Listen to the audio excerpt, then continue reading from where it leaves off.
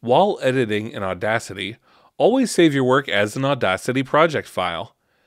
This will ensure that the project, recordings, and edits can be reopened later for more editing. To save, navigate to File, Save Project, Save Project, and click OK. Select a storage location, rename the project, and click Save.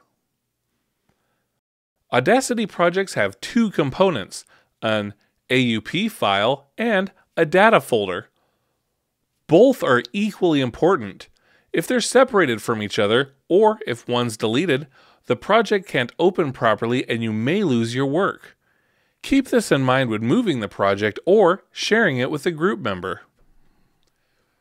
When editing is done, the project will need to be exported as an audio file, such as an MP3, in order to be playable outside of Audacity.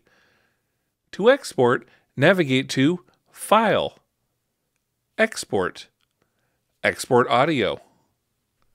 Select a storage location and rename the file.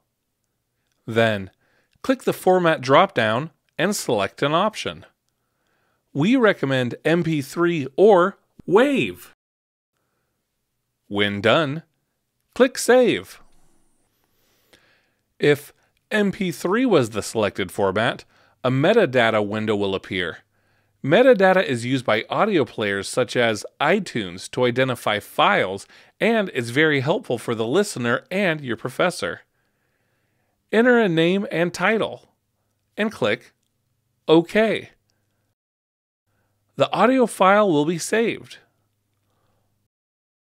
More information about Audacity can be found in our other videos or by visiting the PLU knowledge base.